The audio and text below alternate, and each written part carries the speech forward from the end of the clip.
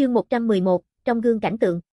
Trương gia tổ tiên cũng ở bí sách sau lưng để lại một câu, tiểu hoàng tuyền không thể đi, hắn lưu lại bí sách mục đích, không phải muốn cho hậu nhân đi tìm hách hạo vũ, mà là làm cho bọn họ cầm bí sách, tìm những cái đó muốn đi tiểu hoàng tuyền người, từ bọn họ nơi đó tranh thủ lớn nhất ích lợi.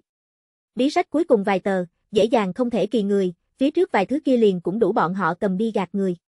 Diệp Dương xem xong bí sách thượng nội dung, ấn ở trên bàn tay trái nhịn không được hơi hơi trầm xuống, gỗ đặt mặt bàn hẳn là bị hắn cấp ấn ra một cái nửa tất thâm dấu tay. Có thể thấy được, Diệp Dương nội tâm là như thế nào phẫn nộ. Cái kia râu dê chủ tử, đem ta cùng Diệp Dương dẫn vào một cái tử cục. Cái này cục, để cho người bực bội địa phương, chính là ngươi đối hắn hiểu biết đến càng nhiều, liền cảm thấy nó khó có thể phá giải, cũng liền càng yêu cầu đối phương động thủ dẫn người thoát vây. Đây là đối thủ mục đích, hắn hoàn toàn có thể đem trương gia người giấu đi, làm Diệp Dương tìm không thấy manh mối. Nhưng hắn lại làm theo cách trái ngược, cố ý đem manh mối đưa tới cửa tới, làm Diệp Dương bắt được trương gia bí sách. Diệp Dương bắt được trong tay lại là một cái giải không thể giải chết khấu.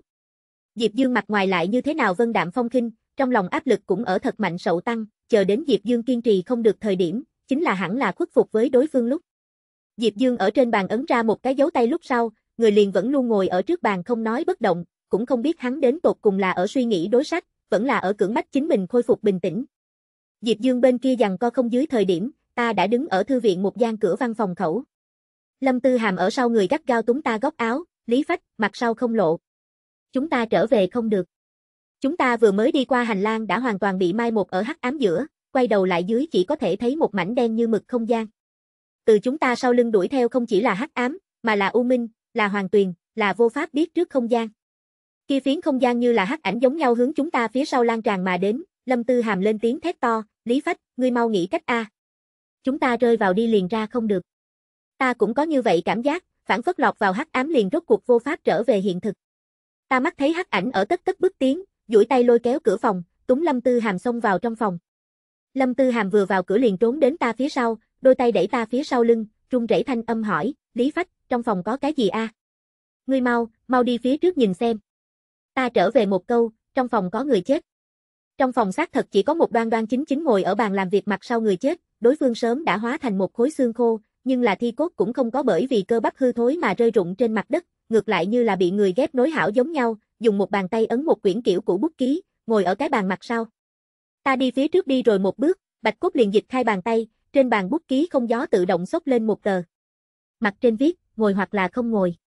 Ta kéo ra ghế dựa ngồi ở Bạch Cốt đối diện khi, bút ký phía dưới lại trống rỗng xuất hiện một hàng tự, phiên đến trang thứ năm. Ta thử phiên động một chút bút ký, lại phát hiện bút ký chỉ có trước năm trang năng động, mặt sau lại như là bị huyết dính ở cùng nhau, muốn đánh đều mở không ra.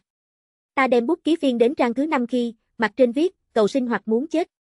Ta cười nâng lên tay tới, hướng muốn chết vị trí điểm đi xuống, đứng ở ta bên người Lâm Tư Hàm thét to, Lý Phách, ngươi điên rồi đi. Như thế nào có thể điểm muốn chết? Nhanh lên trở về.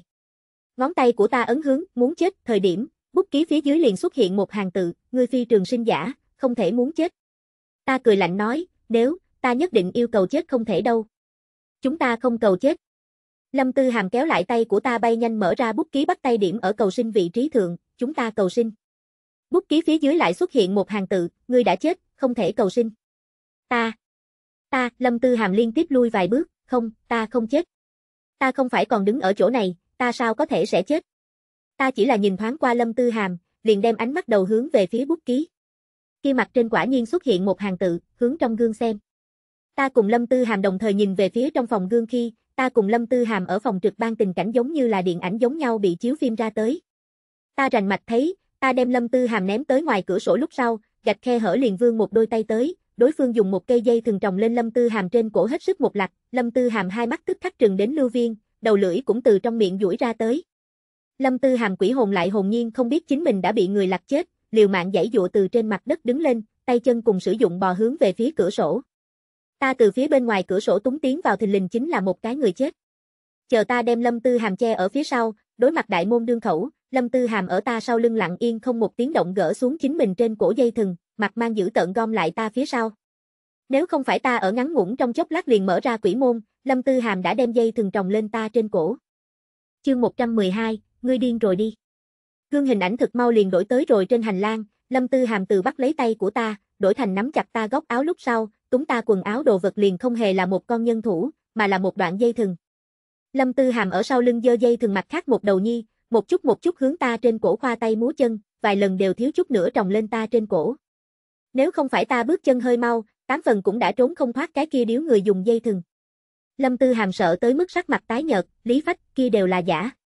Ngươi tin tưởng ta, ta không chết, ta thật sự không chết, không tin chúng ta trở về xem. Không phải. Lâm Tư Hàm cũng biết nói trở về không quá khả năng, không tin, ngươi sờ tay của ta, tay của ta là nhiệt. Không đúng, ta tay là lạnh. Ta có bóng dáng. Không phải, này trong phòng ánh đèn có vấn đề. Ta hướng bên kia điểm, ngươi liền thấy ta bóng dáng.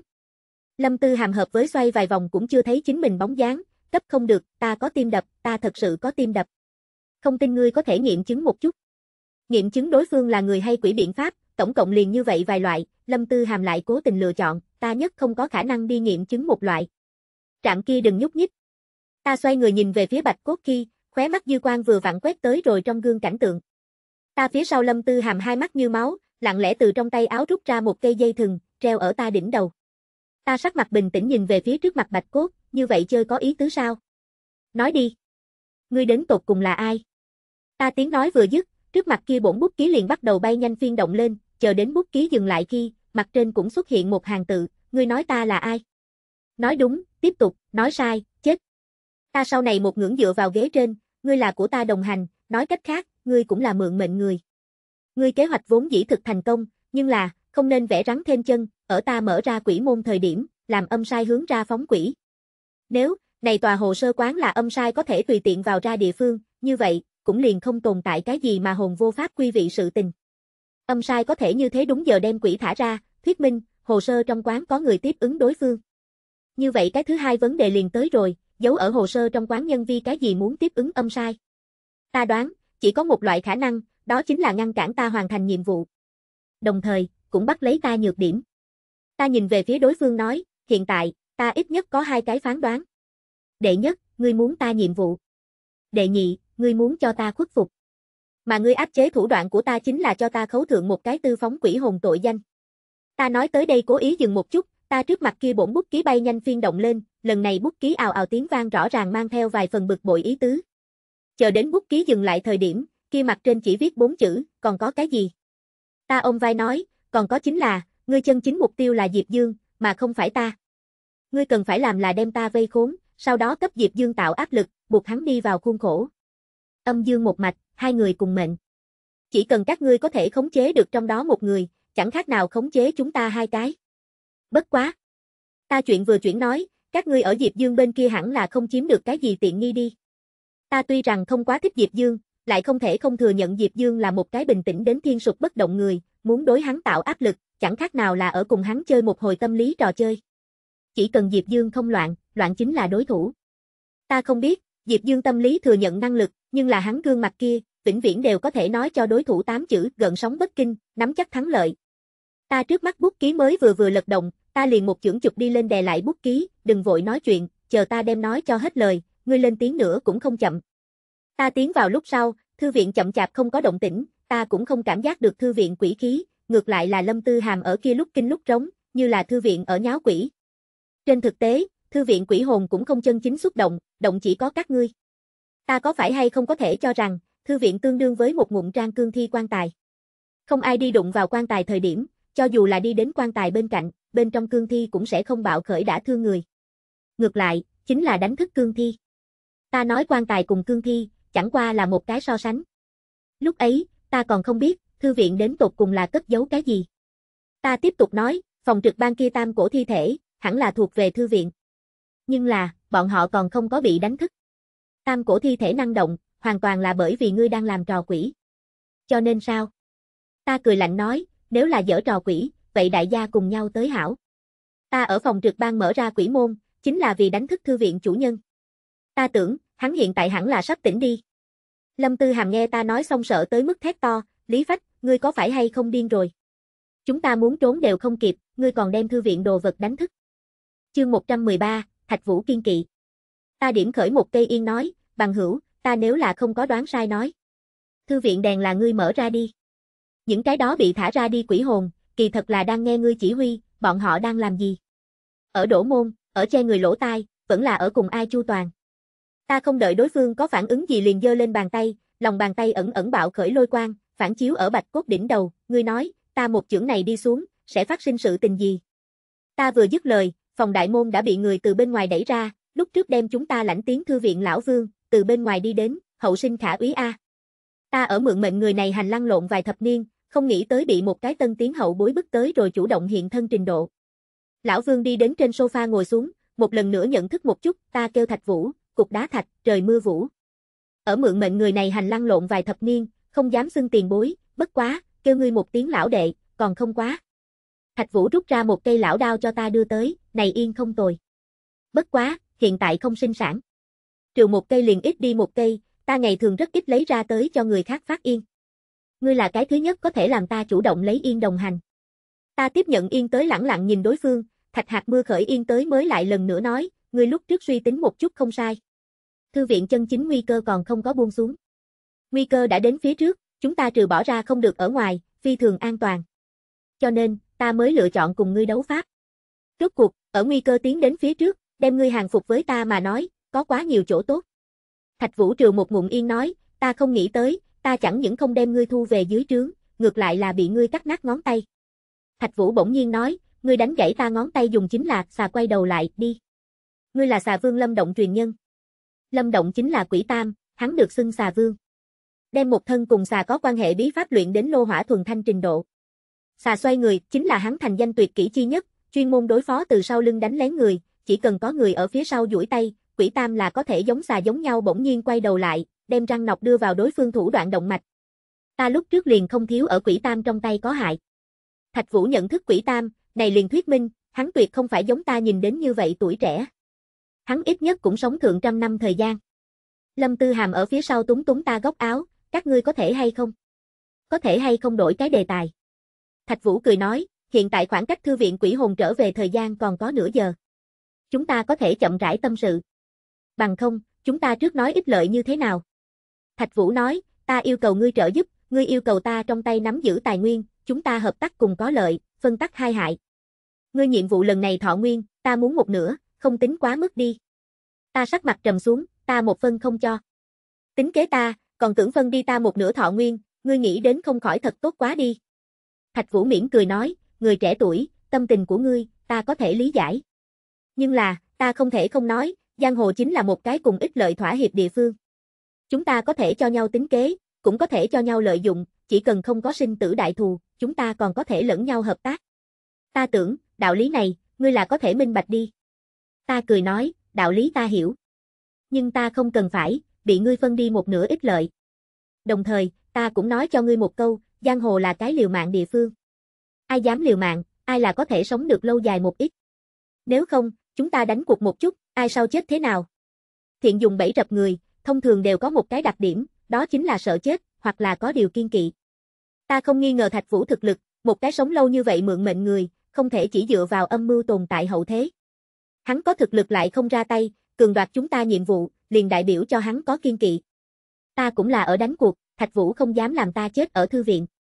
Ít nhất, hắn không dám ở chính mình cũng ở thư viện thời điểm làm ta chết. Thạch Vũ cười nói, ngươi nhưng thật ra khó trụ ta, như vậy đi. Ta có thể không cần thọ nguyên, đồng thời giúp ngươi bắt giữ hách hạo vũ quỷ hồn. Nhưng là, ta muốn lấy đi thư viện đồ vật. Ngươi xem như vậy như thế nào? Ta hai mắt không khỏi hơi hơi vừa thu lại, đây mới là Thạch Vũ chân chính mục đích. Cái này hồ sơ trong quán, hẳn là cất dấu nào đó cũng đủ làm Thạch Vũ từ bỏ thọ nguyên bí mật. Thạch Vũ thủ đoạn, ta đã kiến thức tới rồi. Nếu, hồ sơ quán thật sự dễ dàng như vậy công phá, hắn sẽ không vẫn luôn chờ đến ta tiếp được nhiệm vụ mới ra tay, cướp đoạt. Trong tay của hắn tất nhiên nắm giữ quan trọng nhất tư liệu. Đó là ta muốn đồ vật, cũng là hắn lớn nhất lợi thế. Nhưng là, nơi này có một vấn đề, đó chính là, nếu ta thật lấy hồ sơ quán không có biện pháp nói, Thạch Vũ chờ đến ta chết ở hồ sơ trong quán, chính mình lại đến tiếp nhiệm vụ không tốt sao? Vì cái gì một hai phải cắm thượng một tay? Hắn cảm thấy, ta có hoàn thành nhiệm vụ khả năng, hơn nữa loại này xác suất phi thường to lớn. Diệp Dương. Ta trong óc lập tức hiện lên Diệp Dương tên. Ta chính mình trên người khẳng định không có đặc thù bản lĩnh đi khắc chế hồ sơ trong quán quỷ hồn, duy nhất khả năng liền ở Diệp Dương trên người. Thạch Vũ bám trụ Diệp Dương, không cho hắn tiến vào, chính là sợ hắn tiếp viện, quấy rầy kế hoạch của chính mình. Chương 114, uy hiếp. Ta phải cùng Thạch Vũ tiếp tục kéo xuống đi, kéo dài tới hắn banh không được mới thôi. Ta rút ra nửa đêm một đao bổ vào trên bàn, người cũng cười như không cười nhìn về phía Thạch Vũ, đối phương không khỏi cười ha ha nói, này liền muốn động đao. Không khỏi thiếu kiên nhẫn đi. Ta mở miệng nói, ta rút đao là tưởng nói cho ngươi, hiện tại bắt đầu, ta sẽ không làm ngươi rời đi ta tầm mắt. Ta trên người linh phù, có thể chặn ngươi cùng ngoại giới liên hệ. Ngươi có nắm chắc giết ta, khẳng định có thể liên hệ đến ngươi ở bên ngoài đồng bạn. Nếu, không có cái kia nắm chắc, chúng ta liền đều ngồi ở chỗ này chờ kết quả. Thạch Vũ sắc mặt hơi đổi, hắn lớn nhất ưu thế chính là có thể liên động ngoại giới. Hiện tại, ta cắt đứt bọn họ liên hệ. Chẳng khác nào là nghịch chuyển chúng ta chi gian ưu khuyết thế thái. Ta có thể chờ Diệp Dương lại đây tiếp viện, hắn lại không nhất định dám đánh cuộc Diệp Dương bị bắt đi vào khuôn khổ.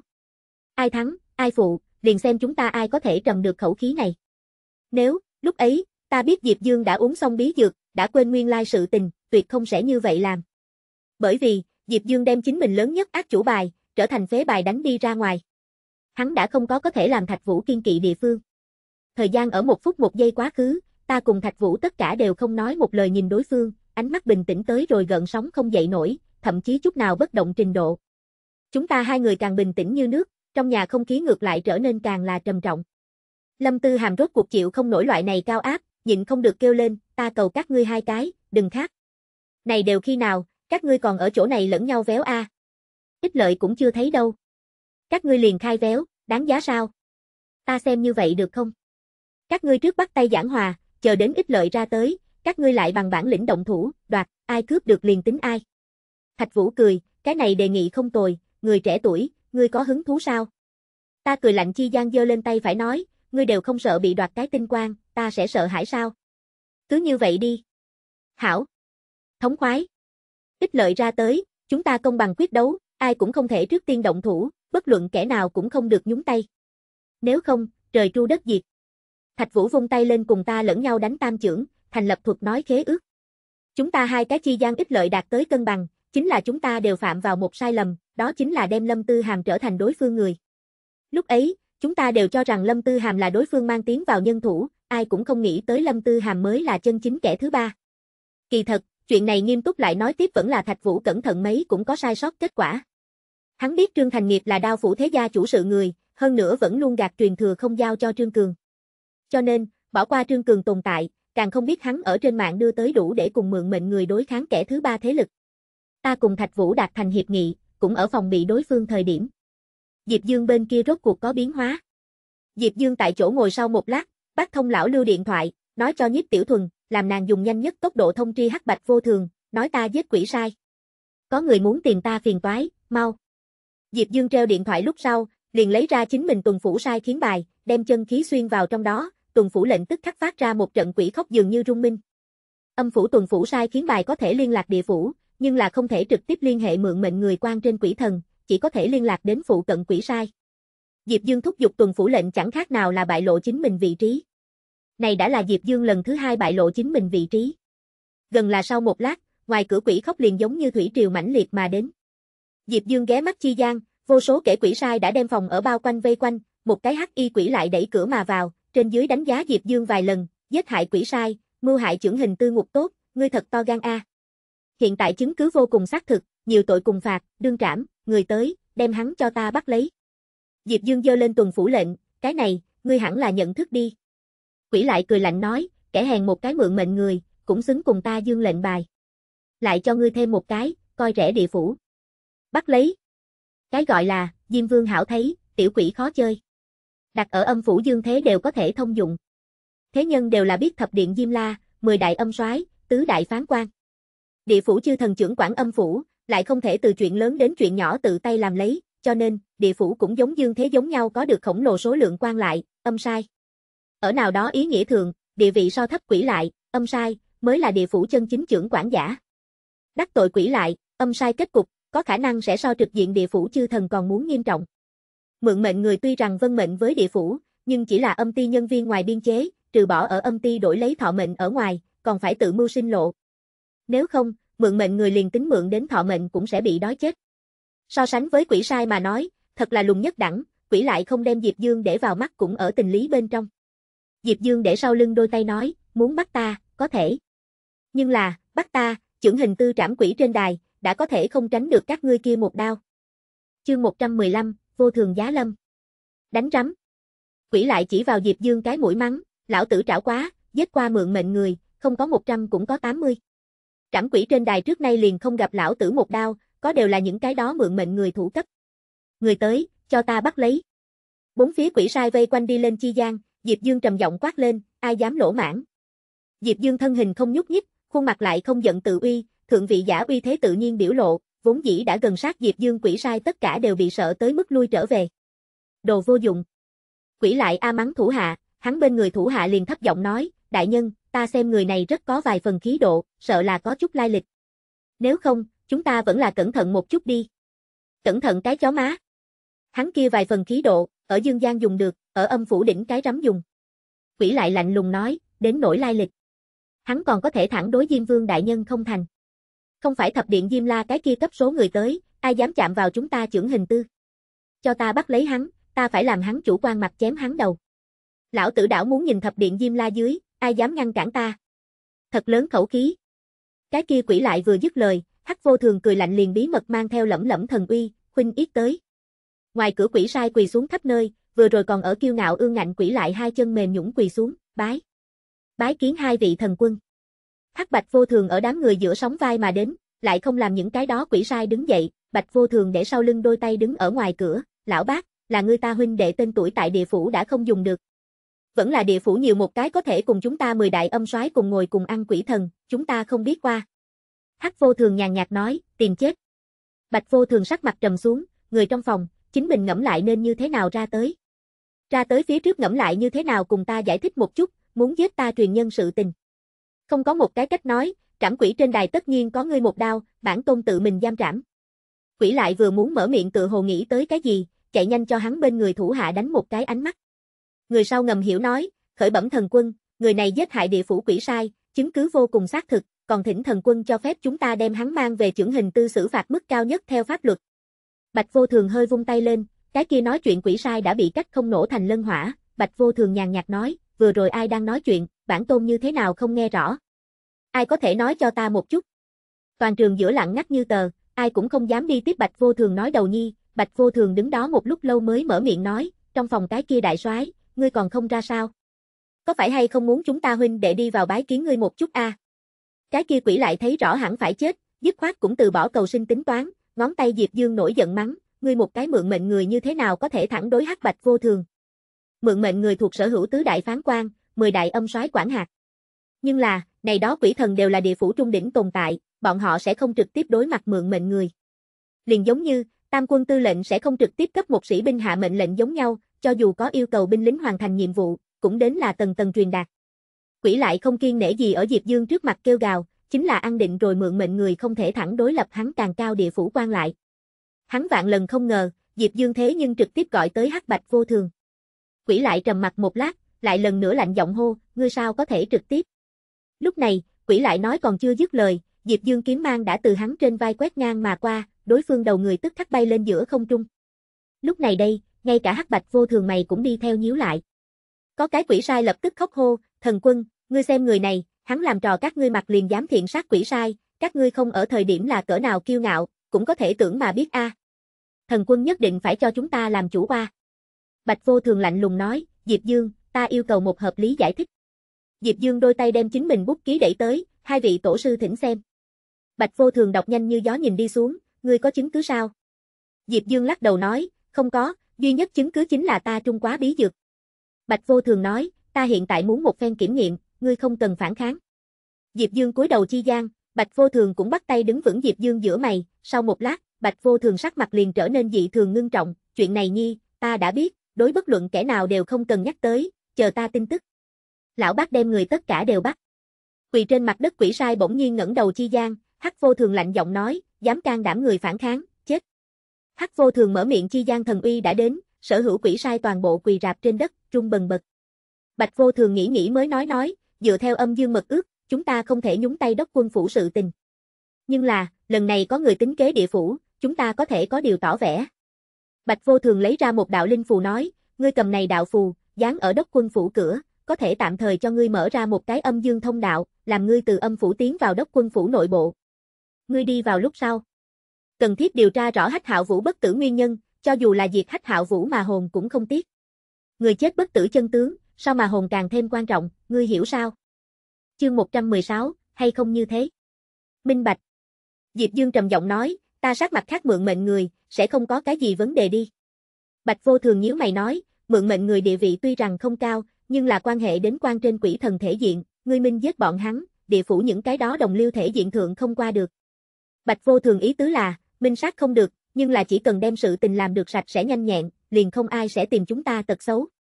Diệp Dương gật đầu một cái liền biến mất ở bóng đêm giữa. Bạch vô thường chờ hắn đi xa mới lầm bầm lầu bầu nói, mượn mệnh người quy củ có phải hay không nên sửa sửa lại. Sau lại, ta mới biết được, Bạch vô thường cái này ý tưởng truyền quay lại địa phủ lúc sau, âm ti đích xác thay đổi mượn mệnh người quy tắc. Nhưng là, tân quy tắc không chỉ có không có cấp mượn mệnh người mang đến cái gì chỗ tốt, ngược lại đưa tới vô tận sát khí, cũng cho ta cùng Diệp Dương Lâm vào muôn vàng khó khăn chi cảnh. Địa phủ lần này thay đổi quy tắc nguyên nhân, chính là bởi vì Diệp Dương giết trưởng hình tư quỷ sai, cũng chính là trương gia tổ tiên. Lúc ấy, Diệp Dương cũng không biết chính mình rước lấy phiền toái, đang ở một đường chạy tới đốc quân phủ. Thạch Vũ đại khái cũng là ở cái này thời gian lấy ra ta muốn tư liệu. Thạch Vũ nói, chúng ta trước sau hy sinh mấy cái mượn mệnh người, lại cùng trương gia tốn số tiền lớn, mới đem tư liệu lộng tới tay. Tưởng tiến hồ sơ quán trung tâm mật thất, cần thiết phải có bốn người. Này bốn người liền giấu ở hồ sơ trong quán, ngươi đến tin một người, giết một người, lừa một người, tìm một người. Mới có thể mở ra này tòa thư viện cuối cùng phòng. Sở hữu bí mật đều ở cái kia trong phòng. Ta nhìn thoáng qua Thạch Vũ lấy ra tới kia trương sơ đồ phát thảo, này bốn người đều là ai nói cho ngươi? Ngươi gặp qua này bốn người sao? Chưa thấy qua. Thạch Vũ trầm giọng nói, nhưng là, ta tin tưởng chúng ta người dùng mệnh đổi lấy tư liệu. Ta trầm giọng nói, ngươi nói bốn người là từ bên ngoài tiến vào người, vẫn là hồ sơ quán bản thân tồn tại người. Ta sẽ hỏi như vậy, chính là bởi vì chúng ta hiện tại nhân số. Nếu, Trương Cường không bị ta lừa đi, Diệp Dương lại từ bên ngoài tiến vào, không phải vừa lúc là năm người sao? Ta một đôi bốn liền thành lập. Không biết. Thạch Vũ lắc đầu nói, bắt được tư liệu người chính là Trương gia tổ tiên, hắn chỉ là nhiều lần bảo đảm chính mình bắt được tư liệu tuyệt đối chân thật. Đến nỗi, hắn từ ai trong tay bắt được mấy thứ này, ta cũng không biết. Ta vì nghiệm chứng tư liệu thật giả, phái ra mấy cái đắc lực thủ hạ tiến vào chứng thực, bọn họ giữa có người chết ở nơi này, có người liều chết vọt ra, cho ta mang về tư liệu. Hắn nói, cùng trương gia tổ tiên giống nhau như đúc. Ta suy nghĩ sau một lúc lâu mới nói nói, các ngươi thấy quá hách hạo vũ không có. Không có. Thạch Vũ lắc đầu nói, hách hạo vũ mất tích, trừ bỏ cái kia nhất bí ẩn phòng ở ngoài, chúng ta không tìm được hách hạo vũ bất luận cái gì manh mối. Ta hoài nghi hách hạo vũ mới là cái này đốc quân phủ chân chính chủ nhân. Ngươi xem nơi này. Còn có nơi này cùng nơi này. Người của ta, cuối cùng xuất hiện phòng chính là này mấy cái địa phương, ta hoài nghi, cho bọn hắn tư liệu người liền giấu ở mỗi một phòng. Chúng ta đến từng bước từng bước thử qua đi mới được. Ta trầm giọng nói, ngươi nói bốn cái phòng vừa lúc là ở hồ sơ quán Đông Nam Tây Bắc bốn cái giác thượng, ngươi biết đi như thế nào mới có thể qua đi sao? Thạch Vũ đè thấp thanh âm nói, cần phải có một nữ nhân dẫn đường mới được, hơn nữa, nữ nhân kia cần thiết là người chết. Thạch Vũ nói chuyện chi gian nhìn về phía Lâm Tư Hàm, người sau sợ tới mức liên tiếp lui hai bước, ngươi đừng nói hô nói vượng. Ngươi dựa vào cái gì nói nhất định đến là nữ nhân dẫn đường. Ta đánh gãy Thạch Vũ bàn tay thời điểm, hắn liền nói một câu, đừng đi cứu nàng, đi theo nàng đi. Khi đó, hắn liền kế hoạch hảo muốn sát Lâm Tư Hàm. Ta dùng chân kích thích một chút trên mặt đất tàn thuốc, ngươi cố ý cho ta lão đao, lại ở thùng rác để lại tiên nữ. Ám chỉ ta lão đao trảm tiên nữ cũng là vì sát Lâm Tư Hàm, làm nàng dẫn đường. Đối. Thạch Vũ nói thẳng không cố kỵ nói, chúng ta kiểm chứng quá, mỗi năm đều sẽ có cái nữ nhân ở gần đây mất tích. Nàng thi thể khẳng định sẽ ở hồ sơ quán phụ cận trong bụi cỏ xuất hiện. Trên người không có miệng vết thương, hoàn toàn như là ngoài ý muốn tử vong. Phụ cận người không dám hướng nơi này tới, chính là nguyên nhân này. Bọn họ cảm thấy, này đó nữ nhân chết, là bởi vì không có linh hồn nhỏ bé. Trên thực tế, bọn họ suy đoán là đúng, này đó nữ nhân đều là bị rút ra hồn phách. Giết người chính là này Giang Thư Viện. Thạch Vũ một lóng tay Lâm Tư Hàm, chúng ta đổi một cái góc độ tưởng, tư liệu trung nói giết một người, tin một người. Bất chính hảo liền ở chúng ta trước mặt sao? Lòng ta nao nao, vậy ngươi nói lừa một người đâu? Thạch Vũ cười nói, ngươi không phải đã lừa đi rồi Trương Cường sao? Ngươi giết Lâm Tư Hàm, lại từ nàng quỷ hồn dẫn đường, bất chính hảo chính là tìm một người sao? Ta phỏng chừng chúng ta muốn tìm người này hẳn là chính là Hách Hạo Vũ. Tìm được rồi Hách Hạo Vũ, chúng ta mới có dùng võ nơi, hết thảy vấn đề mới có thể giải quyết dễ dàng. Người này, ngươi sát vẫn là không giết. Thạch Vũ trong thanh âm mang theo nào đó dụ hoặc lực lượng, ngươi có lẽ không tiếp thu được làm sát kẻ vô tội, nhưng là, ngươi cẩn thận ngẫm lại, chúng ta vì cái gì muốn mượn mệnh? Là vì tồn tại. Chương 117, Thạch Vũ mê hoặc. Thạch Vũ mang theo vài phần hướng dẫn từng bước ý tứ, chúng ta đánh một cái cách khác tới nói đi. Đưa ngươi có vô số tài sản thời điểm, ngươi còn muốn đi cùng người đoạt một cái màn thầu. Khi kêu ích kỷ. Đưa ngươi cùng rất nhiều người cùng nhau sắp đói chết thời điểm, ở trong tay người khác có một cái màn thầu, ngươi đoạt lấy tới ăn, vậy không gọi ích kỷ. Gọi người tính, cũng kêu cầu sống. Chúng ta mượn mệnh người có phải hay không cùng muốn đi đoạt lấy một cái màn thầu người rất giống. Vì chúng ta có thể sống sót, ngươi không cần có cái gì tâm lý gánh nặng. Động thủ đi. Lâm Tư Hàm sợ tới mức sắc mặt trắng bệch, không, Lý Phách. Ngươi đừng giết ta. Ta. Ngươi đừng tin tưởng hắn chuyện ma quỷ. Hắn là đang lừa ngươi. Ngươi xem, hắn hiện tại còn không phải là ở lừa một người sao. Ngươi giết ta, chẳng khác nào là hắn giết ta, kia cũng là ở giết một người. Ta đã chết, nếu là thật có thể mang các ngươi đi ra ngoài, giống nhau cũng là tìm một người.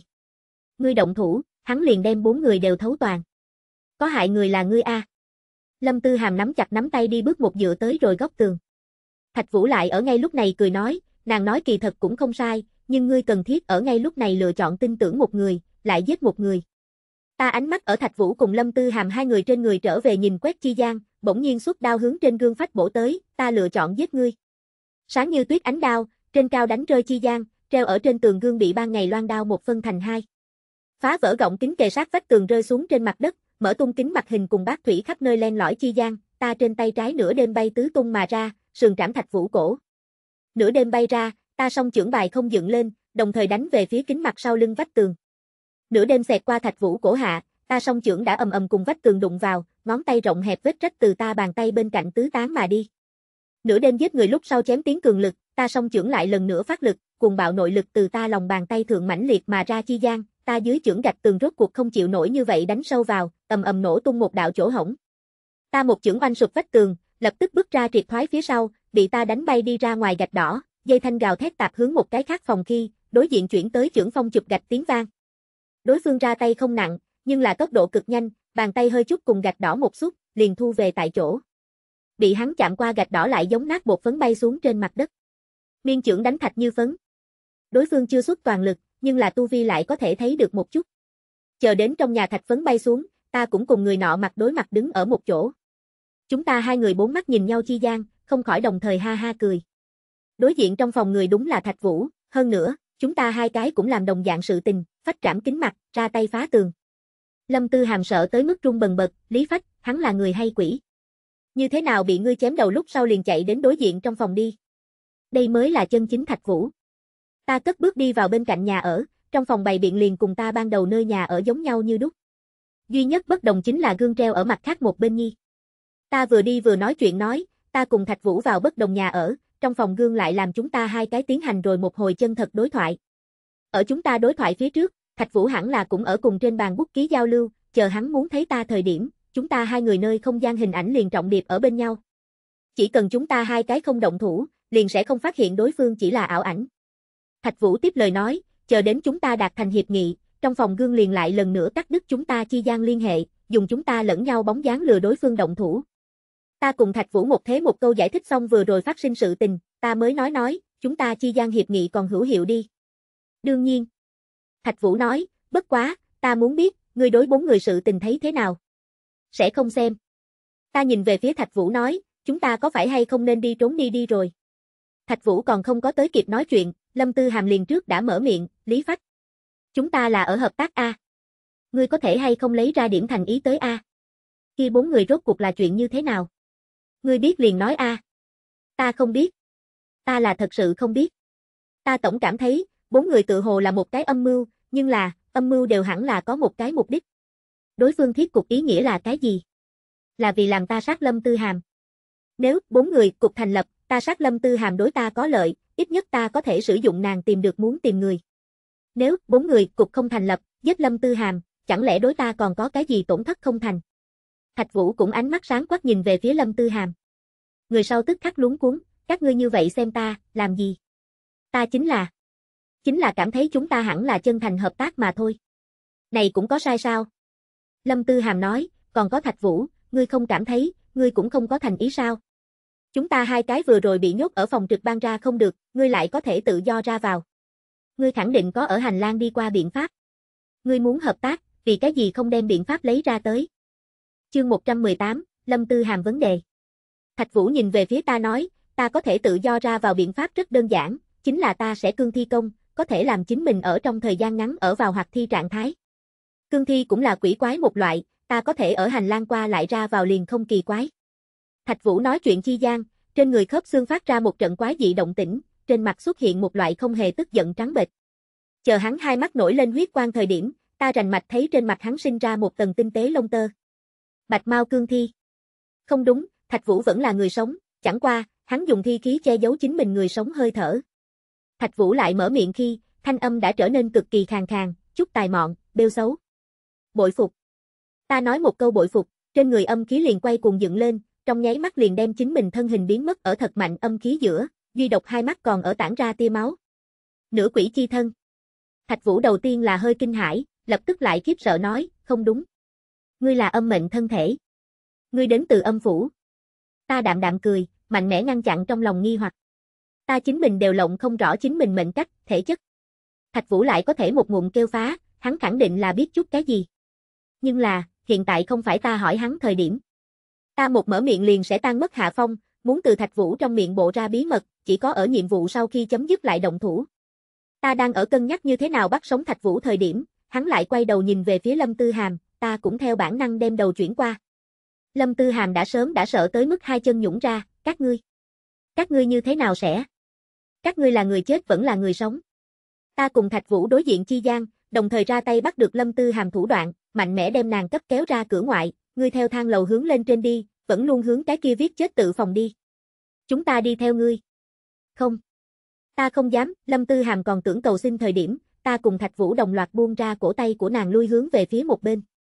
Lâm Tư Hàm chỉ cần không phải thuật sĩ, liền không có biện pháp ở âm u hành lang thấy hai cái bị âm khí, thi khí bao vây người. Chúng ta hai người một lui, nàng chẳng khác nào là bị lẻ loi ném vào hành lang. Lâm Tư Hàm không thấy chúng ta, sợ tới mức nước mắt chảy ròng, Lý Phách, Thạch Vũ, các ngươi ra tới a. Đừng đem ta ném xuống. Ta sợ hãi. Ta thật sự sợ hãi. Lâm Tư Hàm ở hành lang lại khóc lại kêu, ta lại thờ ơ, theo ý ta tới, bị Thạch Vũ mang ra tới người sẽ sợ hãi sao? Nếu, nàng thật sẽ sợ hãi, ta chỉ biết cảm thấy buồn cười. Tựa như có người nói cho ta, thuật sĩ sẽ sợ quỷ giống nhau buồn cười. Lâm Tư Hàm hô nửa ngày, cũng không thấy ta cùng Thạch Vũ đáp lời, chỉ có thể dán chân tường một chút hướng thang lầu phương hướng đi qua. Ta gần cùng đi ra ngoài vài bước, phía trước Lâm Tư Hàm chuyển qua thân hình, bước nhanh đi hướng thang lầu. Ta theo sát vài bước lúc sau, Lâm Tư Hàm bỗng nhiên mở miệng nói, các ngươi đối với ta như vậy, có phải hay không cảm thấy ta trừ bỏ có thể hấp dẫn quỷ quái không có mặt khác tác dụng? Ta sẽ không pháp thuật, cũng không biết võ công. Ở nguy hiểm giữa trừ bỏ bị vứt bỏ còn có thể làm cái gì đâu. Lâm Tư Hàm thanh âm sâu kín, làm lòng ta mạc danh đau xót. Đau đớn qua đi, vô tận tự trách hướng ta trong lòng điên cuồng tuôn ra mà đến. Lâm Tư Hàm chỉ là một cái nhược nữ tử, nàng bị từ phòng trực ban ném văng ra thời điểm, thậm chí liền phản kháng cơ hội đều không có, chỉ có thể hướng ta khóc cầu. Nhưng ta lại một lần đem nàng cấp ném đi ra ngoài. Vì chỉ là đem nàng trở thành mồi. Làm như vậy là có thất phúc hậu. Không, không phải phúc hậu vấn đề, ta ở giết người. Ta vô dụng đao, nhưng là ta là ở sát Lâm Tư Hàm. Lâm Tư Hàm tiếp tục nói, ta nhớ rõ có một cái tâm lý thí nghiệm, ngươi mang theo năm loại động vật đi ở sa mạc. Năm loại động vật phân biệt là, lão hổ, voi, con khỉ, cẩu, khổng tước. Làm ngươi lựa chọn theo thứ tự vứt bỏ bốn loại động vật, chỉ để lại một trong số đó bồi ngươi đi qua sa mạc. Ngươi sẽ trước vứt bỏ cái nào? Tham gia thí nghiệm người, 80% trở lên sẽ lựa chọn trước vứt bỏ khổng tước.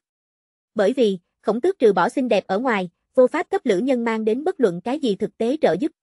Đề này đáp án, khổng tước đại biểu cho thê tử.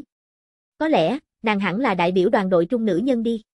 Đưa ngươi không có nguy hiểm thời điểm, khổng tước đối với ngươi mà nói, là cảnh đẹp ý vui tồn tại. Đưa ngươi gặp gỡ nguy hiểm, ngươi sẽ không đi liều mạng bảo hộ, cái kia nhất hẳn là bị bảo hộ tồn tại.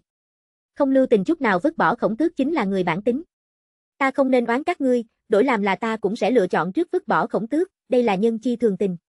Đem nó vứt bỏ đến càng xa, ngươi liền càng xem không đến khổng tước ở sa mạc liều chết dãy dụ bộ dáng. Nó đem sở hữu hy vọng đều ký thác ở một người trên người, đương nó bị vứt bỏ thời điểm, liền sẽ biến thành đáng thương nhất cũng nhất bất lực người kia. Chính là, nàng không thể có bất luận cái gì ý kiến, bởi vì nàng quá yếu.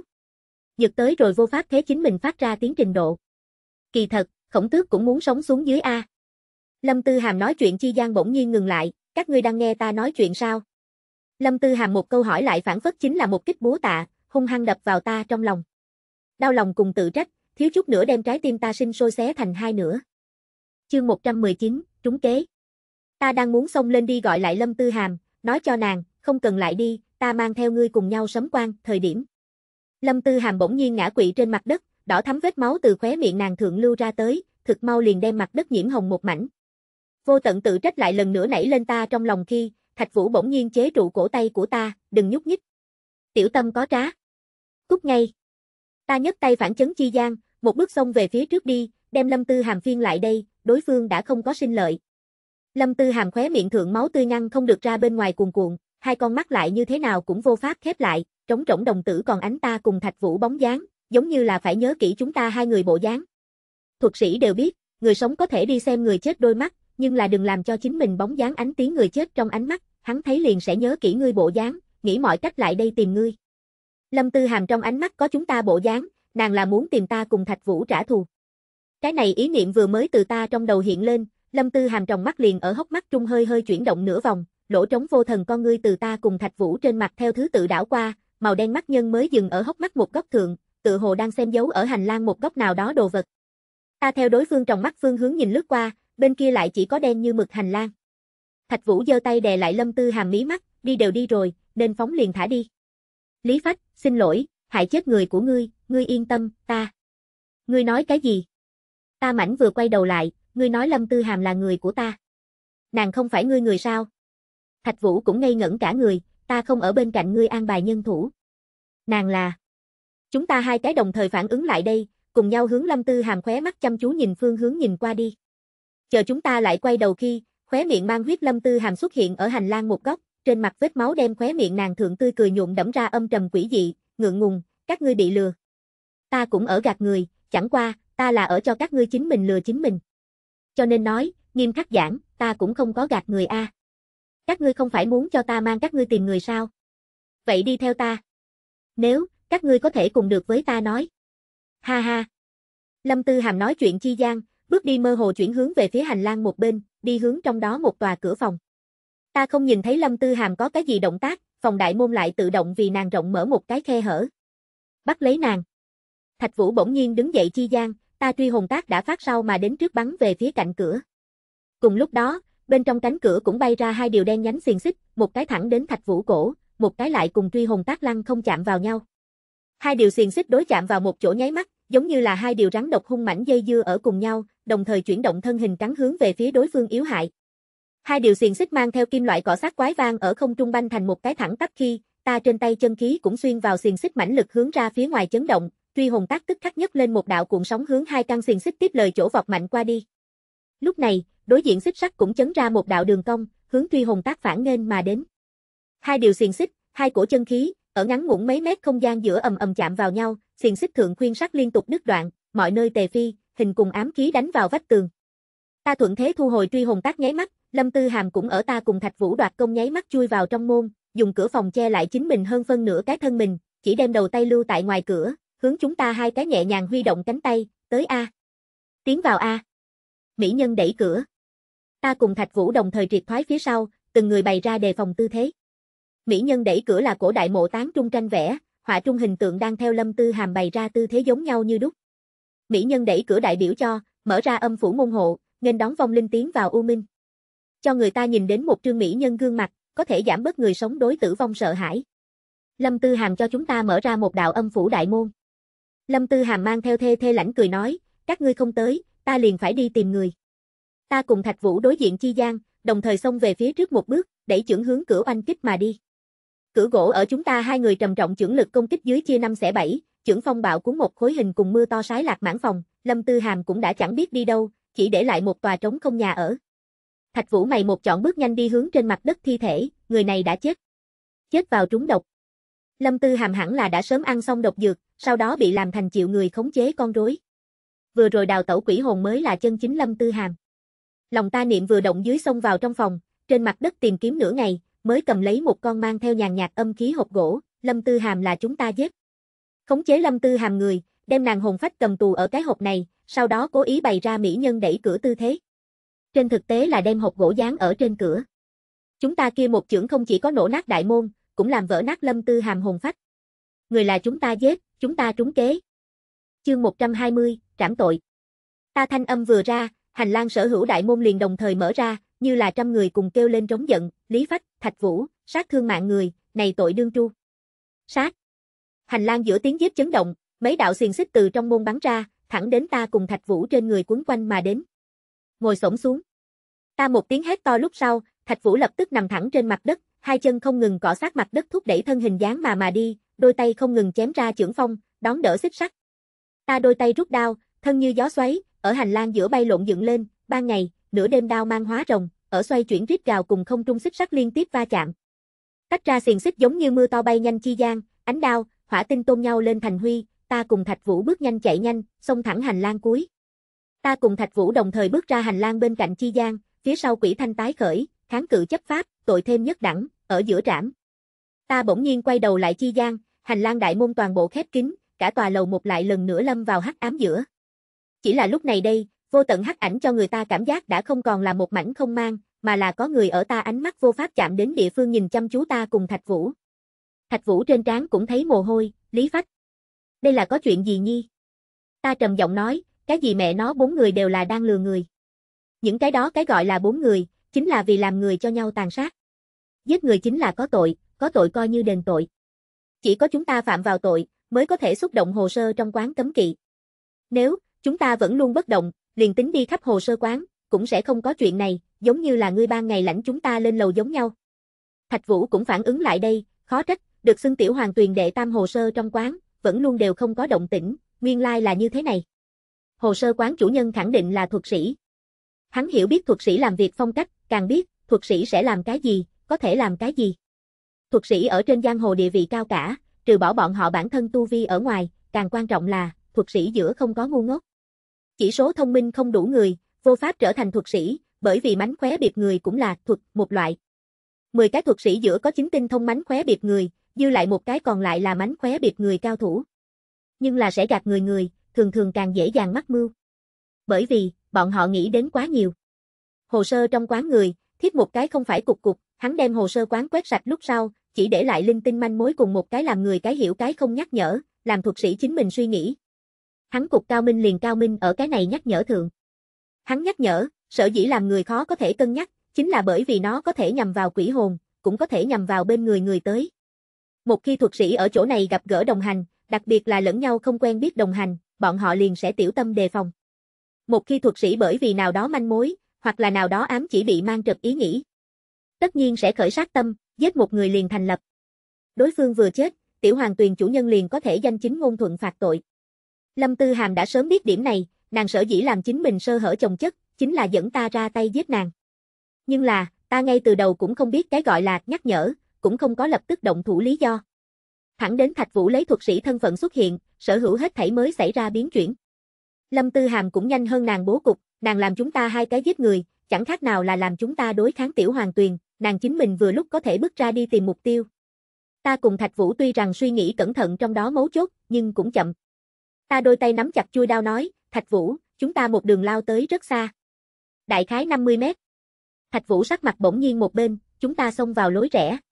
Toàn bộ hồ sơ quán toàn trường cũng không đủ trăm mét, chúng ta hai cái cũng không phải ở hồ sơ quán phía cuối về phía trước đột tiến, 50 mét khoảng cách, cũng đủ chúng ta đụng tới tường, nhưng chúng ta hiện tại như cũ như là đứng ở hành lang trung gian, không phải đi vào lối rẽ lại là cái gì. Ta hít sâu một hơi nói, nghĩ cách định vị, cho dù là mạnh mẽ định vị cũng có thể, dù sao cũng phải tìm cái môn đi ra ngoài, nhanh lên. Chờ. Thạch Vũ từ ba lô lấy ra la bàn nương khẩu. Hành lang một bên bỗng nhiên truyền ra một trận như là bánh xe áp mà tiếng vang. Sau một lát, ta liền thấy một chiếc dẫn người xe chở tù từ hành lang cuối chậm rãi mở ra, xe chở tù một lung đóng lại đúng là Lâm Tư Hàm. Nàng bị bắt.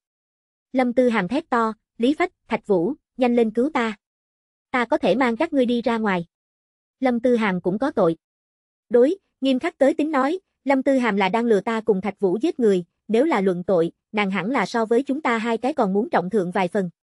Thạch Vũ nghiêng người che ở ta trước mặt nói, mặc kệ nàng. Nàng có thể là ở gạt người. Ta không gạt người. Lâm Tư Hàm thét to, ta trong tay manh mối so các ngươi còn nhiều, thượng lầu 2, thượng lầu 2 mới có sinh lộ. Các ngươi đi lên sẽ biết.